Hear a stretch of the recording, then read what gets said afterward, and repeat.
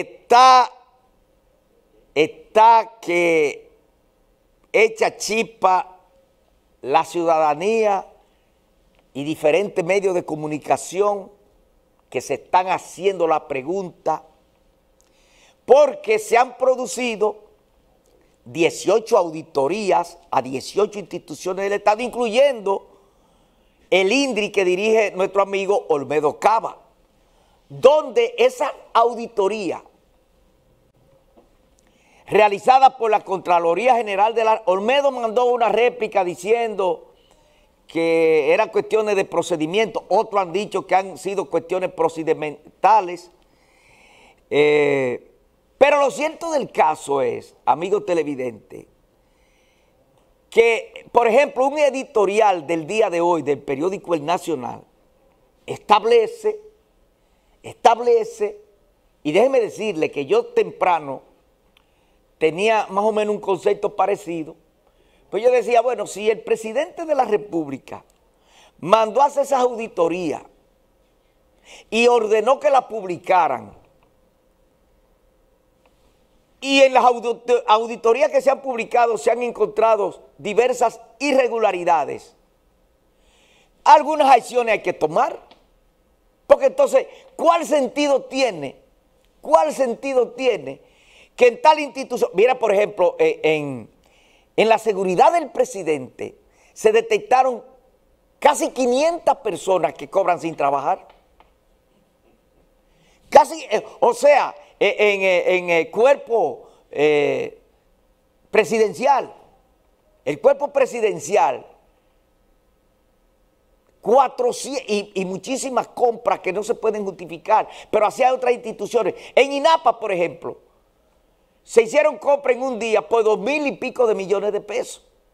Y, esa auditoría dice que eh, se hizo de una forma irregular. Y hay una serie de situaciones que no, no se han podido justificar. Entonces, si, si el presidente, como pide el periódico El Nacional de hoy, no produce aunque sea una amonestación una amonestación de su funcionario, eso se le convierte en un boomerang. Eso en vez de hacerle bien lo que le va a hacer daño. Porque ¿cómo es posible que si aquí en esta institución se detectaron serias irregularidades, usted deje ese funcionario ahí? Y algunos hasta ser sometidos a la justicia. Algunos ser sometidos a la justicia porque, ¿y qué moral, qué moral se tendría? Por eso es que este programa la gente lo respeta. A algunos no les va a gustar porque entiende que la corrupción no es mala si lo hacen los PLDistas, pero si lo hacen PRMistas es buena. No, la corrupción es mala, hágalo quien lo haga.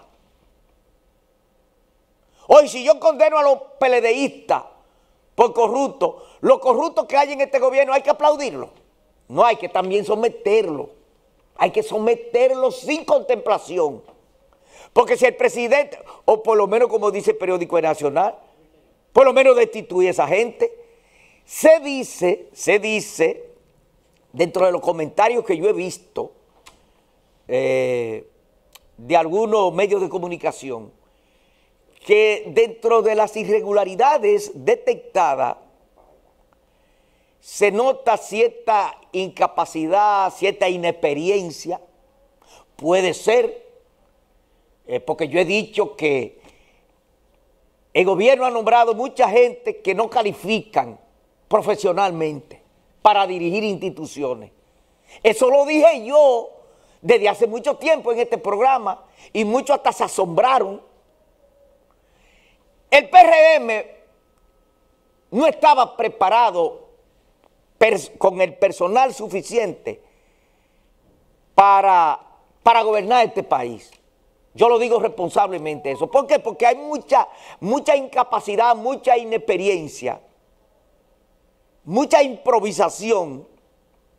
Y aunque el presidente de la República justificó que lo de pasaporte, que hay, qué sé yo cuánto, este, este, eh, eh, eh, que, porque que en, en el 2020 y el 2021 casi no hubo gente que viajaran por la pandemia, y que por tanto no hubo requerimiento de libretas y que a juntarse dos años dos años consecutivos que no había libretas y que por eso ahora todo se ha juntado y que por eso ha sido un caos, para mí hay incapacidad ahí. Para mí hay inexperiencia. Porque es que una cosa no se justifica con la otra.